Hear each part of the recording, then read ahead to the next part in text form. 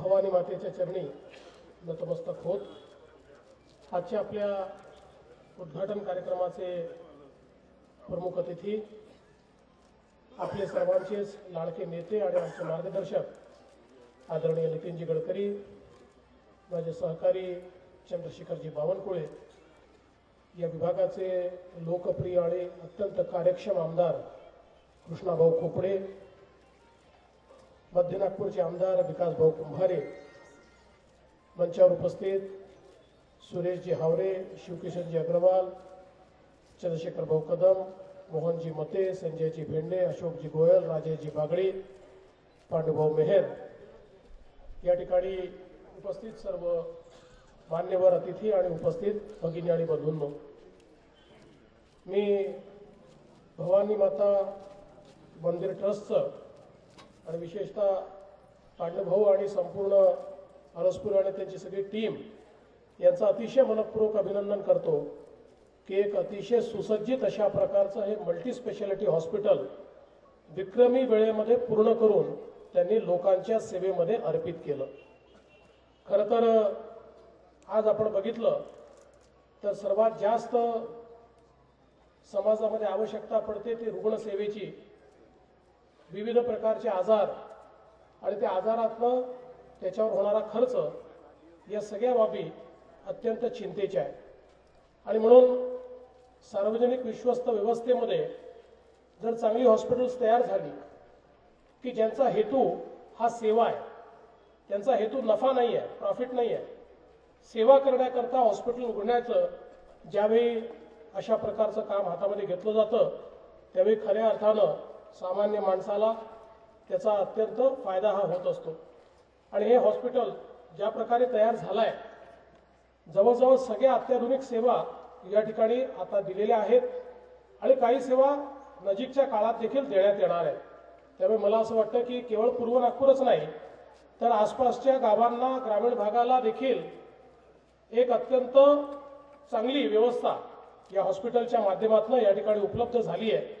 आणि यातनं खऱ्या अर्थानं आता गरिबाची सेवा ही केली जाणार आहे.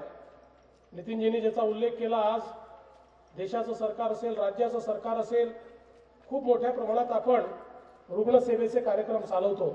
आयुष्यमान भारत सारखी योजना भारत सरकारने तयार केली आणि पन्नास कोटी लोकांना पाच लाखापर्यंत मोफत ट्रीटमेंट देण्याचा निर्णय त्यात झाला. आज महाराष्ट्रामध्ये आपण महात्मा फुले जनआरोग्य योजना सुरू केली. आता महात्मा फुले जनआरोग्य योजना आणि आयुष्यमान भारत योजना या दोन योजनांना एकत्रित केल्यानंतर जवळजवळ महाराष्ट्रातल्या नव्वद टक्के लोकांना सरकारी सेवेचा लाभ आता आपण त्या ठिकाणी देऊ शकणार आहे. आणि त्यांच्या कुठल्याही दुर्धर रोगावर कितीही मोठं ऑपरेशन असो तरी त्याचा सगळा खर्च हा राज्य सरकारच्या वतीनं केला जाईल अशा प्रकारची व्यवस्था ही आपण या ठिकाणी उभी केली आहे. आणि त्यासोबत वेगवेगळ्या माध्यमातनं मग तो सी एम रिलीफ फंड असेल किंवा पी एम रिलीफ फंड असेल या माध्यमातनं मोठ्या प्रमाणात रुग्णसेवेचं काम देखील आपण या संपूर्ण महाराष्ट्रामध्ये विशेषतः नागपूरमध्ये अतिशय चांगलं करतोय. खरं म्हणजे ही रुग्णसेवेची प्रेरणा आम्हाला सगळ्यांना माननीय गडकरी साहेबांनी दिली आणि गेले वीस वर्ष अविरतपणे गडकरी साहेब हे इथल्या गोरगरीब रुग्णांकरता त्यांचे ऑपरेशन्स असतील त्यांची सेवा शुश्रूषा असेल प्रचंड मोठं काम हे गडकरी साहेबांनी यातनं उभं केलं. आणि मला असं वाटतं की आज अशा प्रकारचं हॉस्पिटल या ठिकाणी आल्यामुळे त्याच्यामध्ये मोठा भरच पडणार आहे. खरं तर भवानी मातेचा आशीर्वाद आपल्या सगळ्यांना प्राप्त आहे. आम्हाला देखील तो प्राप्त आहे. मला आठवतो वीस वर्षापूर्वी पहिल्यांदा ज्यावेळेस मी विधानसभेची निवडणूक लढलो मी आणि मोहन मते आम्ही दोघेही निवडणूक लढलो होतो. आणि काउंटिंग होतं त्यावेळेस मॅन्युअल काउंटिंग असल्यामुळे जवळजवळ अडीच दिवस काउंटिंग चालायचं.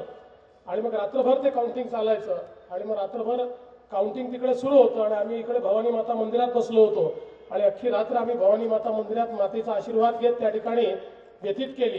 आणि त्याचा परिणाम असा आला की आम्ही दोघेही निवडून आलो आणि आम्हाला दोघांनाही त्या ठिकाणी आमदार बनण्याची संधी ही त्यावेळी प्राप्त झाली. त्यामुळे भवानी मातेचा आशीर्वाद ज्याला मिळाला त्याला मला असं वाटतं की जीवनामध्ये मागे वळून पाहावं लागत नाही. आणि ज्यावेळेस आपण भवानी मातेच्या नावानं उत्तम कार्य करतो त्यावेळेस तो आशीर्वाद निश्चितपणे लाभतो. कृष्णा भाऊंनी ज्या प्रकारे या ठिकाणी सांगितलं की आता शाळा देखील सुरू करायची आहे त्याकरता देखील जागेची आवश्यकता आहे. निश्चित आपण त्याचा पाठपुरावा करावा. आणि मला तर असं वाटतं कृष्णा भाऊ आणि बावनकुळेजी हे दोघं जण इतका पाठपुरावा करतात की यांच्या हाती एखादं काम दिलं की ते काम झालं म्हणून तुम्ही समजा. म्हणजे अनेक वेळा तर मी असं म्हणतो की मला जे मंत्रालयात करणं जमत नाही ते हे करून मंत्रालयात माझ्याकडे घेऊन येतात. इतका यांचा सगळा पाठपुरावा त्या मंत्रालयामध्ये असतो. आणि म्हणून मला विश्वास आहे की हा जर पाठपुरावा योग्य प्रकारे झाला तर निश्चितच येत्या कालावधीमध्ये ती जागा देखील आपल्याला मिळेल. थोडा सध्या एक सुप्रीम कोर्टाचा ऑर्डर आलाय त्यातनं काही स्थगिती आहे पण ती स्थगिती आम्ही लवकरच हटवणार आहोत. आणि त्यातनं या जागा ज्या आहेत त्या देण्याचा प्रयत्न आपण करू. या पूर्व नागपूरच्या भागामध्ये आदरणीय नितीनजींच्या आशीर्वादानं खूप मोठ्या प्रमाणात वेगवेगळ्या प्रकारची विकास कामं हातामध्ये घेतली आहेत.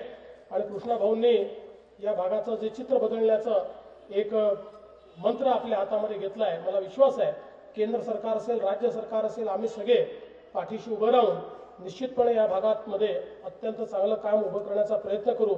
विशेषतः स्मार्ट सिटीच्या माध्यमातून देशातली पहिली स्मार्ट एक ॲग्लोबरेशन आपण हे स्मार्ट सिटी इनिशिएटिव्हमधनं नागपूरमध्ये या पूर्व नागपूरच्या याच भागामध्ये तयार करतो. आणि मी आपल्याला विश्वास देऊ इच्छितो की कोणी काही अफवा त्या ठिकाणी पसरवल्या तरी त्या अफवेच्या पाठीशी जाऊ नका. आम्ही जनतेच्या पाठीशी आहोत आणि अशा प्रकारचं आम्ही ते स्मार्ट सिटीचं काम हातामध्ये घेणार आहोत.